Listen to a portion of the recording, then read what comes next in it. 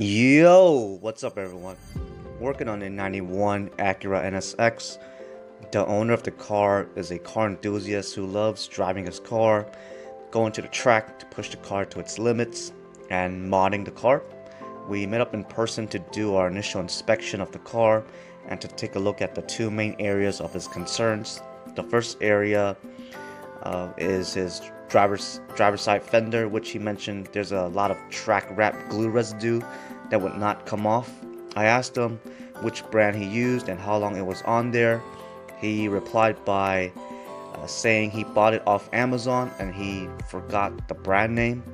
The track wrap was left on the paint for one week under intense heat with 90 to 100 degree days.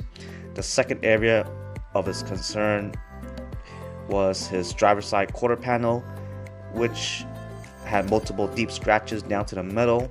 His other goal was to make the paintwork shiny again because he said the paint on a car of this caliber should not be like this and I want to make it look presentable again so we will be doing a wash, decontamination with Iron-X, clay bar, one step polishing with Carpro Essence and applying a paint sealant to protect it for 6 months. I'm cleaning off the area with Optimum No Rinse then following it up with claying, claying it with the Nanoskin fine grade sponge. Afterwards, I'm blocking it with 3000 grit and then from there, uh, polishing it out to see what kind of results we can get with this procedure.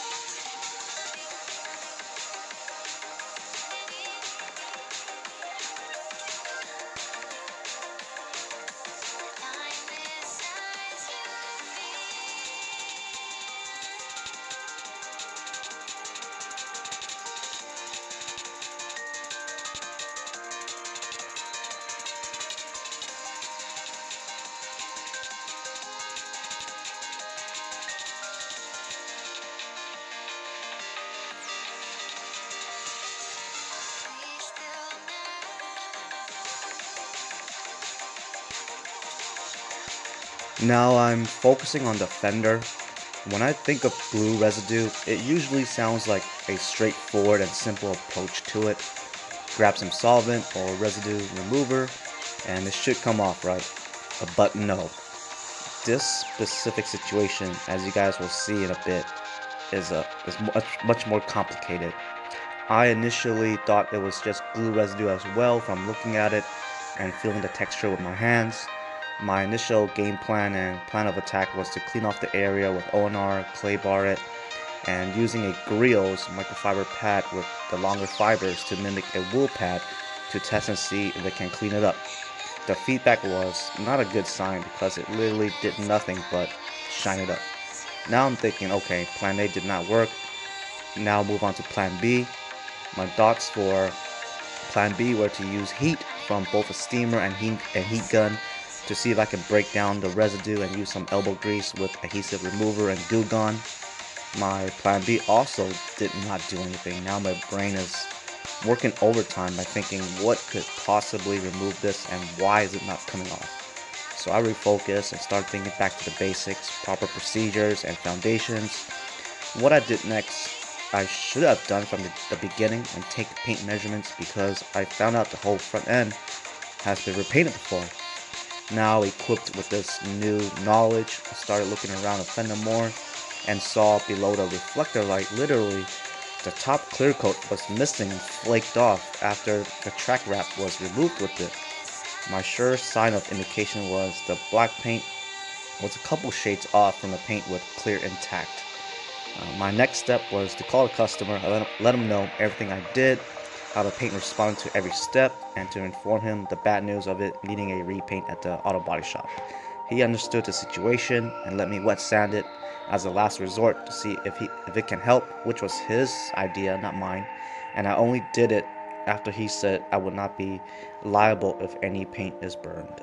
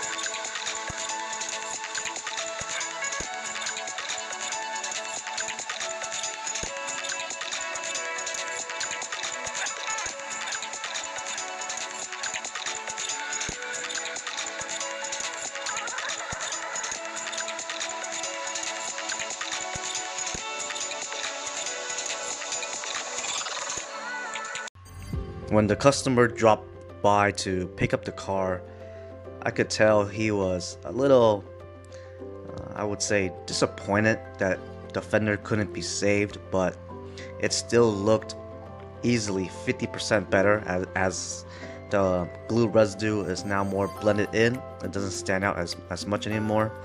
Uh, I showed him the quarter panel. He was really happy with the outcome of that. And he told me that the rest of the car looks really amazing and it's really shiny. He did not expect that, and that literally blew him out the water. He then told me that he never paid for a professional detailing job before.